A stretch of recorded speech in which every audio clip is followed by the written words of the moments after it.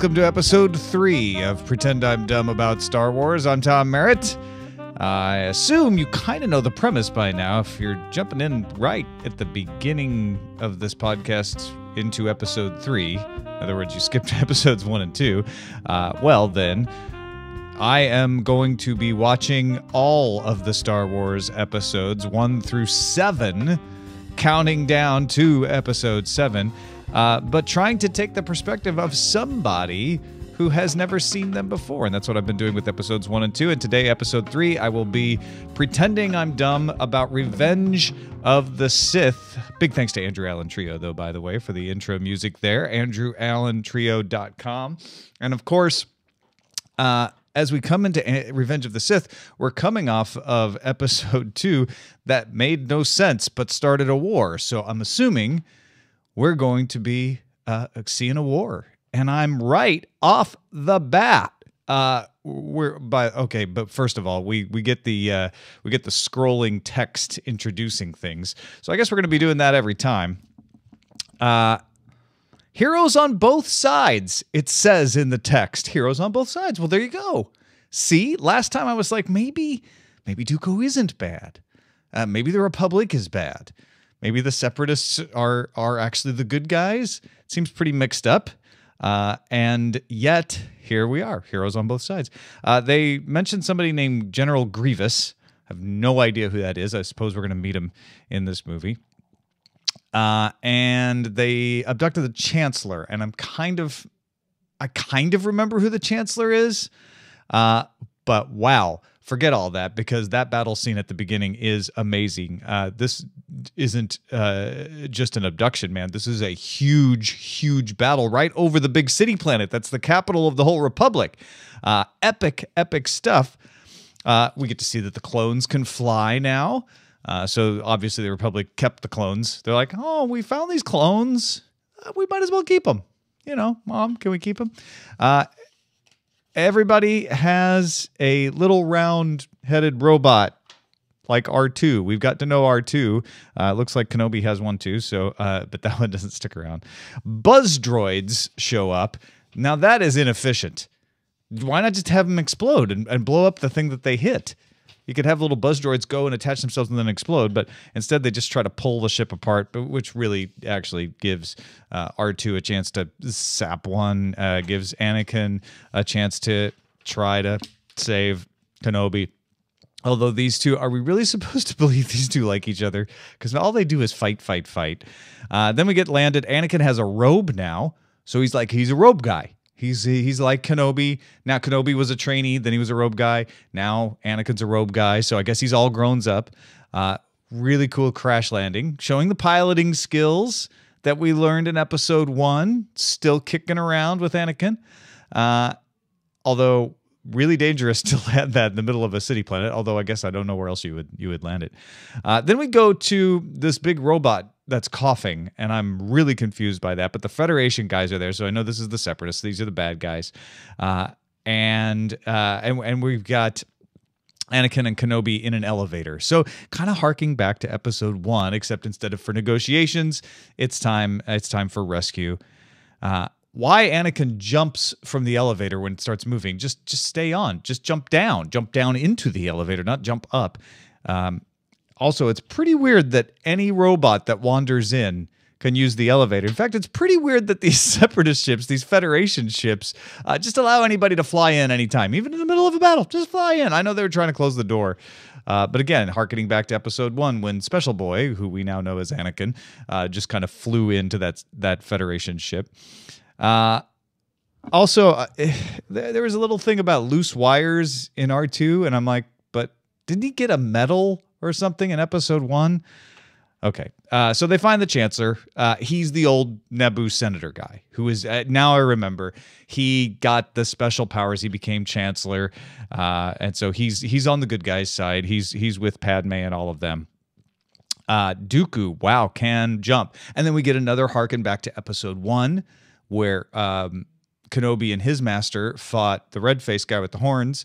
Now they're it's Kenobi and his trainee, uh, Anakin fighting Dooku. Uh, then we get a little bit of a revival of Episode Two battle, uh, where Dooku pretty much mastered, pretty much schooled Kenobi and Anakin. But these guys are better now, so they're able to have a better, uh, better fight. In fact, Anakin's much better.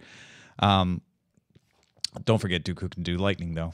That was that was the thing that that's that was a problem at the end of episode two. The other thing at the episode two, remember Yoda showed up, and the way Dooku got away was to to make Yoda choose between saving his friends or continuing the battle. Well, Dooku throws a thing down on Kenobi, knocks him out. Anakin's like, "No, I'm after you. I learned from that battle. I am going to take you out, Mister."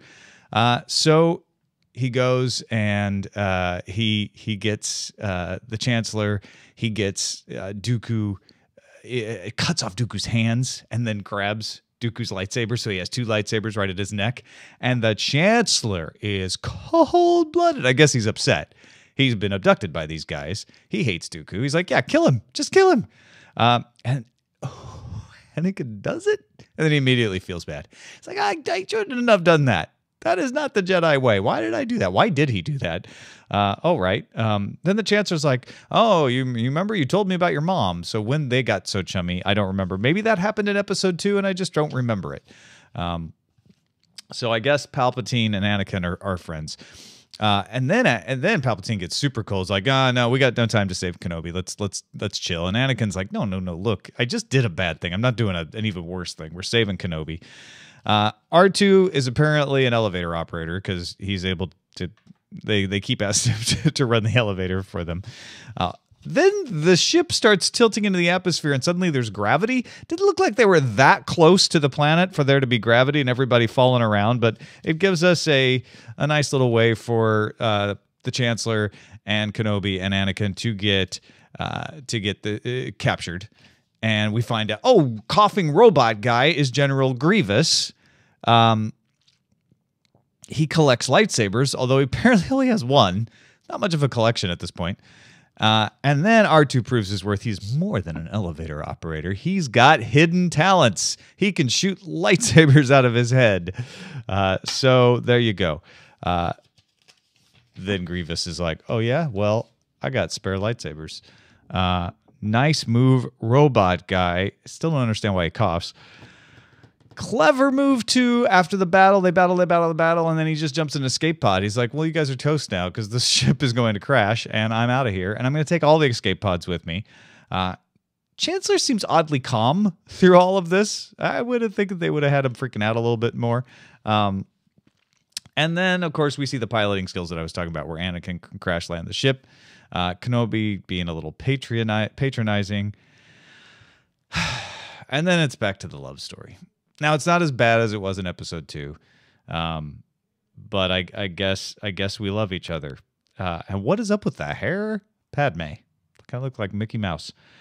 Uh, then she's like, "Yeah, let's let's just run off to Naboo." Uh, oh, also, guess what? Oh, oh, they're still hiding. They're still hiding their love. Uh, and and and let me rewind there.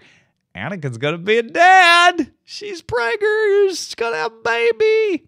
Uh, he seems less creepy now. At least he's not that creepy anymore. So so maybe if I just forget everything that happened in episode two, I can believe that they actually love each other. Uh, uh, back to Grievous. Uh, Grievous is not the apprentice to the dark robe guy, the Sidious guy. Uh, I would assume Grievous was just like next on the list after Dooku, the way Dooku was after uh, Horn Redface guy. But no, uh, Dark Robe guy still has control though.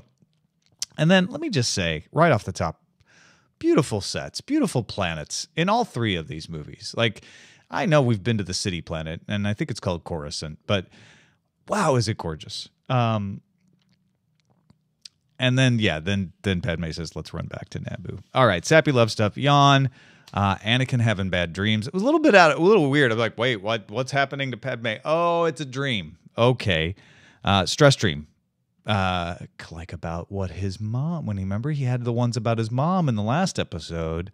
That's bad news for Padme because that did not turn out so well for Anakin's mom.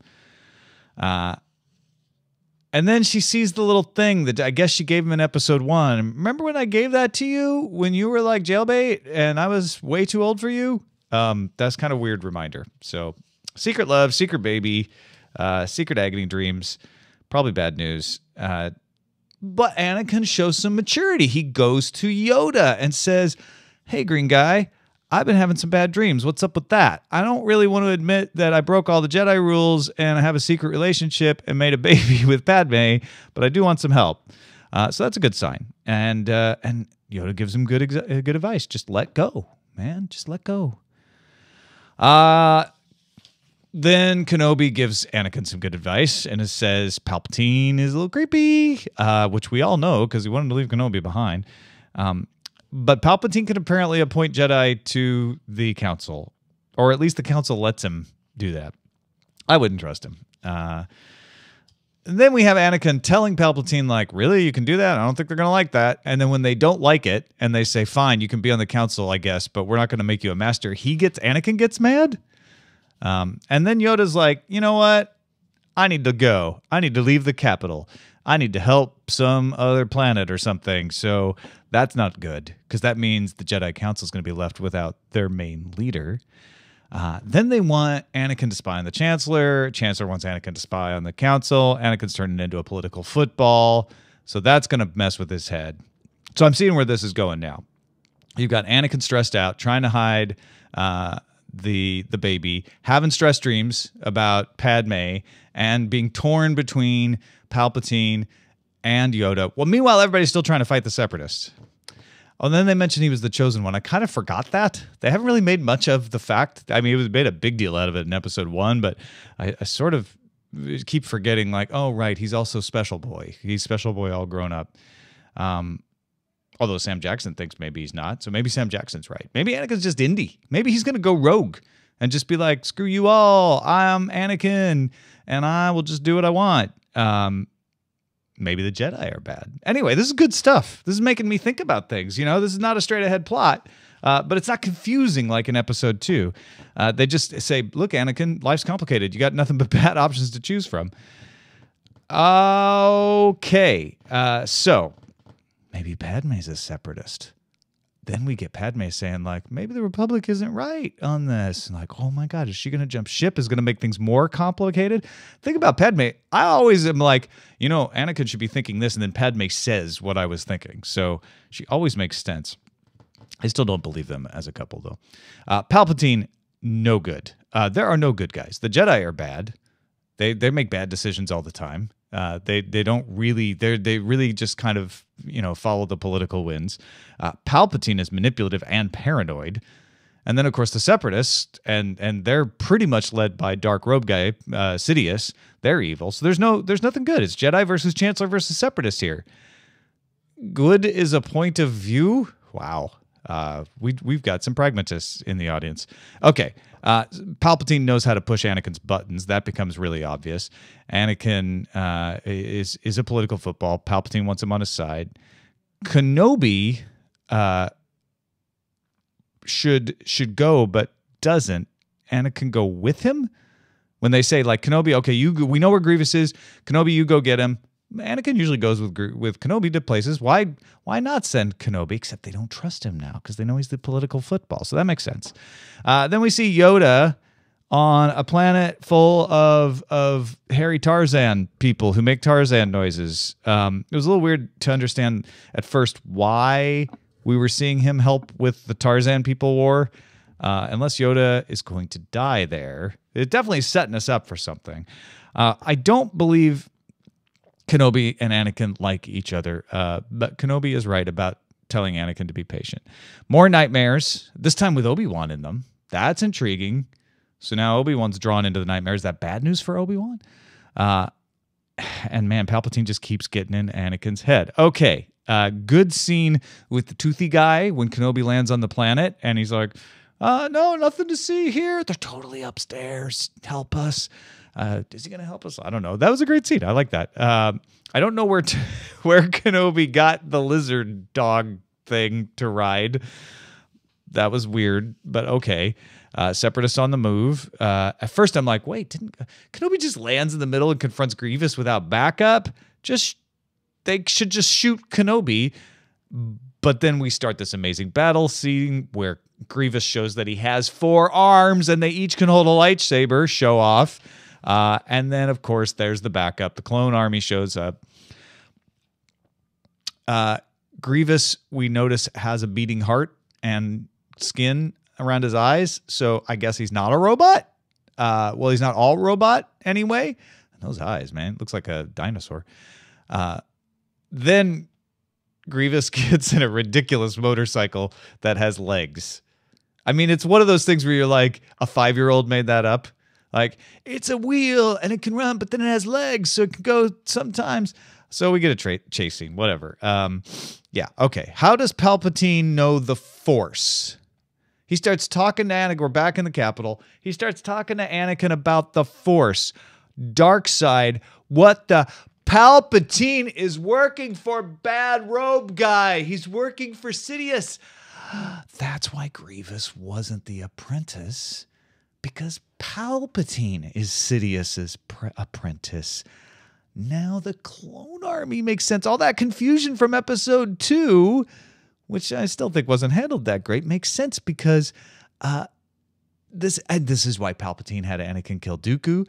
Uh, this is why the clones were allowed to go to the Republic, and and how Palpatine is like, yeah, we'll just don't don't look too closely. We'll just take that clone army, um, because really I want to have a war uh, going on because I'm actually leading both sides. Um, really tempting Anakin. Uh, okay, so we go back to the battle. Nice to see Kenobi use a gun, even though he calls it uncivilized. That was funny. Uh, and then Anakin goes and turns in Palpatine. It's like, hey man, I'm I know where my lo- loyalties lie now. I am a Jedi, and let me tell you, Sam Jackson, Palpatine is a Sith. And Sam Jackson's like, for real, seriously, we seriously a Sith? You're real, okay? Uh, stay away from Palpatine. You should not trust them. and that is right. Sam Jackson should go take care of Palpatine. Anakin's got a messed up head about him. Just stay away from him. We go to Padme's lovely apartment. Where does Anakin live, though, by the way? We're always in Padme's apartment, and I, they can't be living together. That would be way too obvious. Anyway, um, Anakin's just staring out and crying because he's messed up. Then he goes and takes a ride. He goes and jumps in the car. Padme should not have let him drive. I'm just saying. Uh, Palpatine then pulls out a lightsaber on Samuel Jackson, and he could use it. Uh, yeah, that's awesome. Of course, Anakin never follows the rules. That's why he shows up. He's like, I can't stay away. I have to help my buddy Sam Jackson. Um, they should put stronger glass in Palpatine's office, by the way. I know he's a Sith and evil and everything, but like just one little lightsaber tap should not break that entire window. Uh, the good guys win. Sam Jackson has him at gunpoint or saber point, and Anakin is there for backup. And then, oh, oh, oh no, Palpatine could do the lightning thing that Dooku could do. Well, of course he could. He's he's an apprentice, just like Dooku, but he's not as strong. For some reason, when Palpatine does it, it makes him turn old. Uh, so he's he doesn't have as much power as Dooku did. Uh, Anakin, uh, you know, Palpatine's not so weak. Anakin is confused. You understand why Sam Jackson was right that Anakin shouldn't have got there. Uh, okay, so Anakin uh, should should arrest uh, should arrest Palpatine now for Palpatine kills Sam Jackson uh, and throws him like halfway across the city. Nobody noticed that. Uh, Palpatine is now a cartoon face. Apparently, it does not look real. And then what? I just wrote what? Why? Anakin's just like, all right, I'll swear my loyalty to you. Oh, she's creepy Anakin. He's like, I just want to save Padme. Always thinking with his crotch. Uh, kind of hard to swallow this one. Seems very abrupt. And uh, and by the way, I did like the little red guys standing in the corner over there. So, um, okay. Palpatine says, you know what? I'll give you a new name, Anakin. I'm gonna call you Darth Vader because I think we had Darth Tyrannus, Darth Sidious. Now we got Darth Vader, and blow my mind, Palpatine is bad robe guy. Can you believe that? so wait.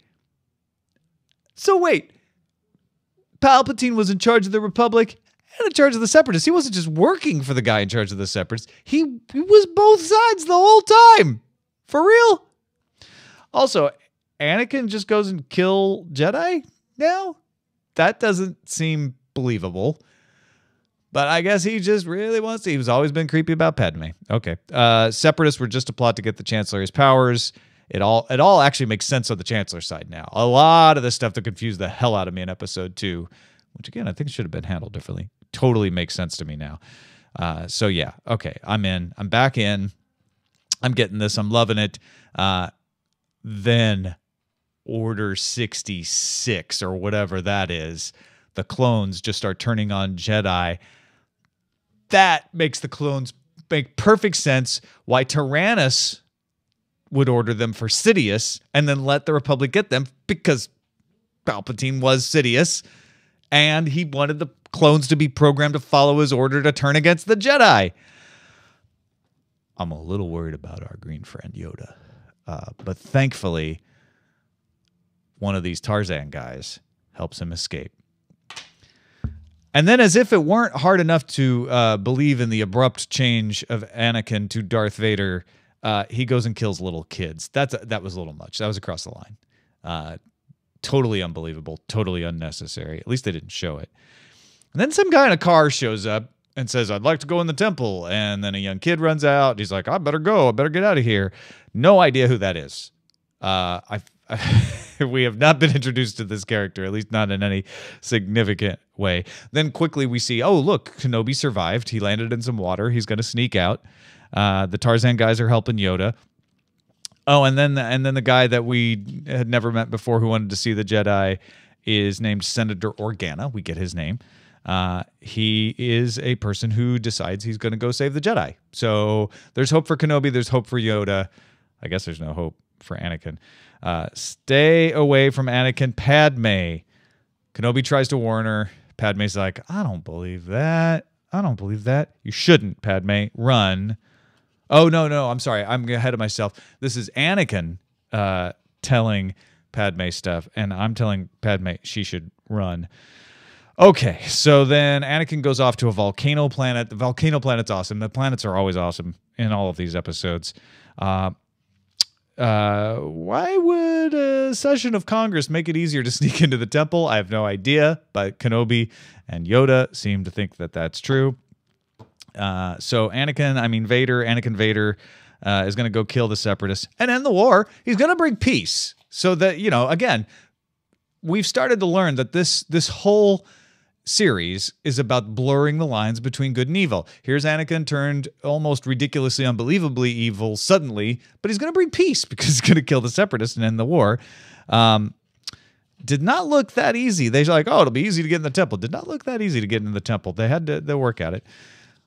By the way, what happened to Jar Jar, the comic relief, the comic relief guy? Where did he go? We haven't seen him this entire episode. Uh, then you know we see Vader, Anakin Vader, uh, killing all the separatists, and he's got the red eyes. Uh, and then we see Palpatine able to just stand up and go, you know what? I think I want to be Emperor, especially now that I have cartoon face. So guess what? I'm Emperor! Yay! Oh, this is how democracy dies. Everybody cheering for an Emperor. Okay, whatever. So he's Emperor. Okay, so now we have an Empire. That sounds more evil. Why not? Uh, then Kenobi's real sad about Anakin, but you know what? I don't think I never believed he liked him anyway. Uh, Yoda and Kenobi uh, decide to split up. Now, here, this is a bad idea. Yoda and Kenobi should go take on Palpatine together, combine their forces. They're the last of the Jedi at this point, pretty much, as far as we know. And yet, they split up. Now, I know Yoda's the most powerful, so it does make sense if they split up, but why split up? Both of them take down Palpatine, and then both of them go get Anakin and maybe try to turn him back to the good side. He hasn't been bad that long. Uh, but okay. Uh, wow, Padme looks pregnant. And Kenobi does notice it, to be fair. Um, and guesses who the father is. And then we see sad Anakin. He's evil, but he's sad. So we know, like, maybe, maybe Kenobi can change him back. Maybe Padme can save him, actually, because Padme takes off. We know exactly where she's going. And of course, clever Kenobi, he sneaks on board. Uh, Love won't save you. Says Anakin. Oh, his dialogues have never been that good. Uh, for being special boy, Anakin is fairly myopic about things. Uh, he he should be sweet talking Padme at this point, not yelling at her that love won't save her. He's pretty weak minded, to be honest. Uh, told told Padme to get away, and she gets choked like from a distance. He does this weird thing where he can like just make her choke. Uh, obviously, he was creepy. Now he's abusive. Uh, better off without him. Kind of think he killed her there for a while. I believe anything at this point. But then Obi Wan picks a fight. He he draws the saber first, and we get an epic lightsaber battle. Then we get an epic lightsaber battle between Yoda and Palpatine. No red guard guys allowed. It's just mono. Well, whatever he is, alien on cartoon face. Uh, Yoda's not a good leader, but he is kick ass as a warrior. Uh, so this is going to be a fun battle, and they keep going back and forth. Pacing's a little bit off here, uh, but we. I'm thinking, I'm thinking Yoda beats Palpatine, but Anakin beats Kenobi, and then we have Yoda versus Anakin face off. That's what I'm thinking. But then somehow Yoda and Palpatine end up rising up into the Senate chamber. Don't know why that happened. Um, unexpected. And Kenobi and Anakin Vader seem well matched. Palpatine starts throwing some some of the Senate pods at Yoda. I'm figuring Yoda just throw some back. He loses his lightsaber, which at this point I realize that a safety feature of lightsabers should be some sort of tether so that if you drop it, it just stays on your hand and you can pick it back up instead of having to always use the force to bring it back. And then finally, Yoda just kind of runs away. He's just like, uh, you know what? I lost my coat, so I'm out of here. Uh, Vader doesn't look to be in danger, even though Palpatine says, I sense Lord Vader is in danger with my cartoon face senses. Uh, but Vader is actually doing pretty well with Kenobi. He's kind of winning, and there's lots of lava, and it's an epic battle. Uh, it's hot. That factory needs better safety mechanisms, is one thing I wrote here. Because uh, they just kind of ran into a panel at one point, and the whole thing seems to be falling apart. And then Kenobi cuts off Anakin Vader's legs. Kenobi wins. So I was wrong and I was the reverse. Yoda lost to Palpatine, but Kenobi beats Vader. Revenge killing? Maybe I never believed they liked each other. Uh, oh, and now he says he loved Anakin, but then he just leaves him to burn. He actually kind of just watches him burn. They just like each other. He doesn't do anything to save him. He doesn't take him into the ship to get medical, but he doesn't finish him off either. He's like, eh, I'll just let you, I'll just let you burn. Uh, Padme is alive, thankfully, we find out. And uh, Anakin is dying or dead. Uh, no, not dead, we find out real quickly. You know who cares? Palpatine. Darth Sidious cares about his little Vader. He's a better friend than Kenobi ever was. Uh, and then we switch to a cool hidden asteroid base. I just want to spend more time on that base. They even have people in spacesuits walking around. Uh, and then we flit, we start going back and forth, back and forth. Burned up Anakin uh, is getting rained on. They, shouldn't they have covered him as they're bringing him into the medical bay or wherever they are on the city planet? Then we go back to Padme, who's giving birth, but also is perfectly healthy but lost the will to live, so she's dying. Makes no sense at all. Just, just have her dying. She was on a lava planet, for goodness sake. Why do you have to make it like, well, no, she's perfectly healthy, but she's lost the will to live? Then we find out she's having twins. Twist! Holy cannoli! Uh, she names one Luke, one Leia, and then uh, I'm thinking you need to hide these from dad. Uh, we go back to Anakin, messed up, uh, needs a full breathing mask. And then Padme is dead. Oh, that was sad. That was sad. Because Padme was actually one of the only likable and understandable characters in this entire three episodes so far, and she is gone. Uh, Anakin, though, now I get why we were introduced to Robot Grievous, half Robot Grievous, because Anakin's kind of like Grievous now. Gets a nice deep voice with that mask, though. Uh, the Frankenstein bit where he comes off as a little on the nose, but uh, you know that's been a thing through a lot of these is tributes to old sci-fi movies, so that's okay. Then we're back on Naboo, sadly, uh, for the funeral. Uh, they say something about keeping the twins away from the Sith, but then they give one to Senator Organa. uh, who's going to be going to Palpatine's home all the time on the Capitol. I guess he just won't take the baby with him. Uh, but Kenobi takes the boy and is going to take him back to the desert planet where his mom was from. Okay, good. Uh, little funny bit where the gold robot gets his mind wiped, but apparently R2 is trustworthy at this point. So the loose wire thing, I don't know where that came from. Um, we never did see comic relief guy. We just at the funeral, and uh, uh, so many cool planets here. I, I, can't read all of these notes at the end because uh, it, it's kind of flipping around, kind of dragged out, to be honest. Like, okay, okay, okay, we're done. We're done. People are dead.